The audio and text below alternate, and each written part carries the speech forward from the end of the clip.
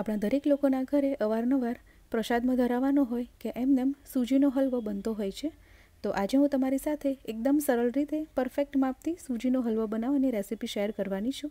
એકદમ ઇઝી માપ અને મેથડ છે, તો જે પહેલી વખત બનાવતા હશે, એનાથી પણ એકદમ સરસ સૂજીનો હલવો બનીને તૈયાર થશે. અને આપણે આમાં એક એવી વસ્તુ ઉમેરવાના છીએ, જેનાથી આ હલવાનો સ્વાદ અનેક ગણો વધી જાય છે. તો હું છું Nirali welcome to my channel Nirali's food world તો ચાલો રેસીપી જોઈ લઈએ. સૌથી પહેલાં એક વાટકી મેં સૂજી લીધી છે, ઝીણી કે મોટી, કોઈ પણ લઈ શકો. એ જ વાટકી ઘી. અને જે વાટકીથી સૂજી લીધું છે, એ જ ચાર વાટકી મેં અહીંયા પાણી લીધું છે. ત્યાર પછી એક ચમચી બેસન લીધું છે, અડધી ચમચી ઇલાયચી પાવડર, થોડું કેસર અને થોડી બદામ કટ કરેલી લીધી છે. હવે જેટલી સૂજી લીધી છે, તેનાથી અડધી મેં અહીંયા દળેલી સાકર લીધી છે. તમે જેટલી સૂજી લીધી હોય, એટલા જ માપની ખાંડ કે સાકર લઈ શકો. હવે અહીંયા જે પાણી લીધું હતું ચાર વાટકી, તેને ધીમા ગેસ ઉપર ગરમ કરવા મૂકવાનું છે. તેમાં કેસરના જે આપણે તાર લીધા છે, તે લઈ લઈશું. ઇલાયચી ઉમેરી દઈશું. અહીંયા આપણે કોઈ ચાસણી નથી લેવાના, પણ હલવામાં જે આપણે પાણી ઉમેરવાનું છે, તેને પહેલાંથી જ આ બધી વસ્તુ નાખી અને ગરમ કરવા મૂકી દઈશું. જેથી કેસર અને ઇલાયચી બંનેની એકદમ સરસ ફ્લેવર પાણીમાં આવી જશે. અને જ્યારે પણ હલવો બનાવો, ત્યારે તેમાં દૂધ કે પાણી ગરમ જ ઉમેરવાનું, ઠંડુ ક્યારેય નહીં ઉમેરવાનું. તો પાણીને હવે આપણે ધીમા ગેસ ઉપર ગરમ થવા માટે મૂકી દેવાનું છે. હવે હેવી બોટમવાળી કડાઈ કે પેન લેવાનું છે. તેમાં જે ઘી લીધું હતું આપણે, તે ઘી લઈ લેવાનું છે અને તેમાંથી બે ટેબલ સ્પૂન ઘી આપણે બચાવી લઈશું. જેને પછીથી ઉમેરવાનું છે.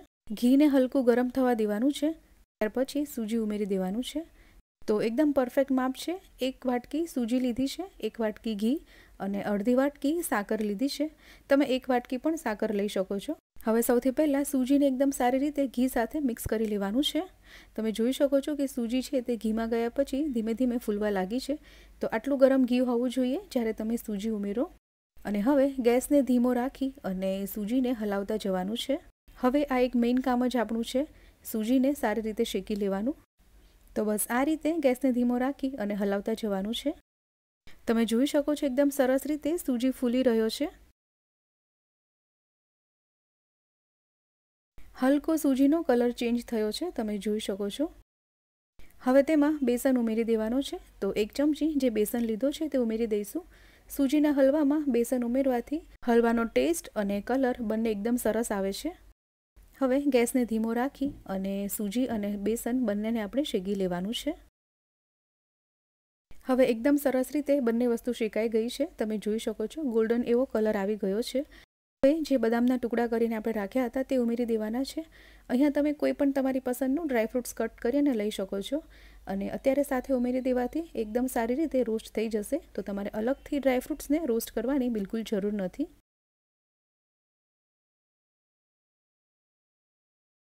ગેસને હવે બંધ કરી દેવાનો છે અને પાણી જે આપણે ગરમ કરવા મૂક્યું હતું તે થોડું થોડું કરી અને પાણી ઉમેરતું જવાનું છે અને હલાવતું જવાનું છે. અહીંયા તમારે એકદમ ધ્યાન રાખવાનું છે, કેમ કે પાણી એકદમ ગરમ છે. તો આ રીતે થોડું થોડું પાણી ઉમેરતા જવાનું અને હલાવતા જવાનું છે.